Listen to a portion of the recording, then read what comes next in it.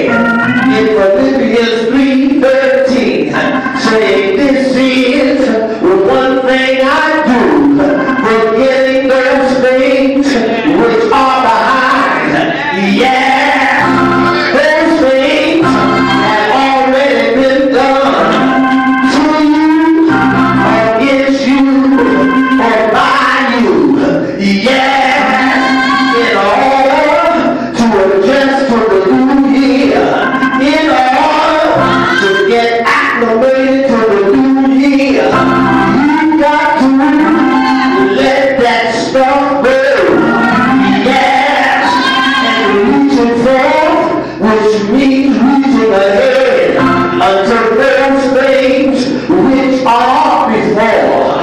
Yes, I know.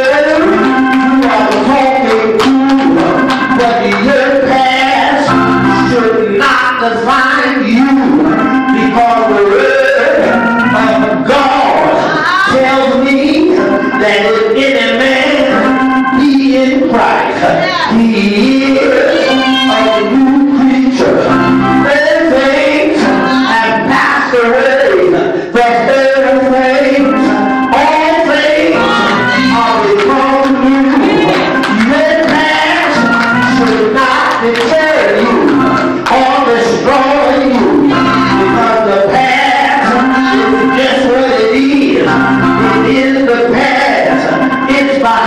the